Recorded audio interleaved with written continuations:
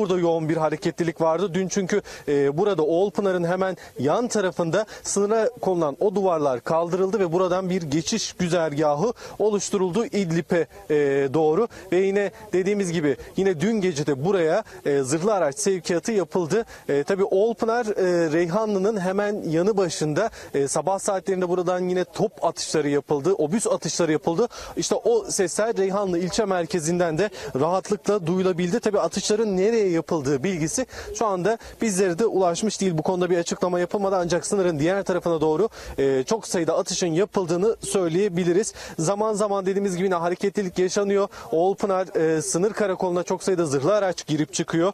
E, yine dün özellikle burada e, hareketlilik vardı. Çünkü e, Genelkurmay Başkanı Hulusi Akar e, sınırdaydı. Kara Kuvvetleri Komutanı Yaşar Güler, Hava Kuvvetleri Komutanı Hasan Küçük Akyüz buradaydı. MİT Müsteşarı ile birlikte Hakan Fidan'la birlikte burada denetimlerde bulundular.